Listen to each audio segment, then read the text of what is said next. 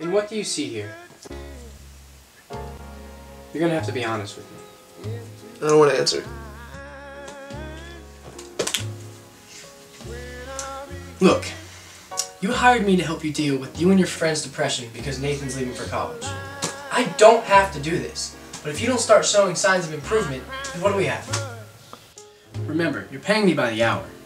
Now, tell me what you see here. I see all the delicious food Nathan used to make. So, are you saying your time spent with Nathan is sweet, much like his personality? Took the words right out of my mouth. I see. I can't do this anymore. I quit.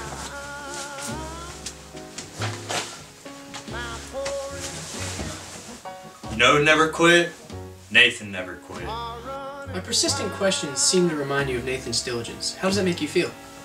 What do you think? Are you even a doctor? What school did you go to, man? Who's next? I see all the times he looked out for me. He always had my back. I've always thought of him as a brother. I really did. He is your brother. Are you kidding me? You guys are beyond repair. I've never dealt with such ingrates before. The only thing I see from this picture is all the fun times we had camping with Nathan. He's such an adventurous kid.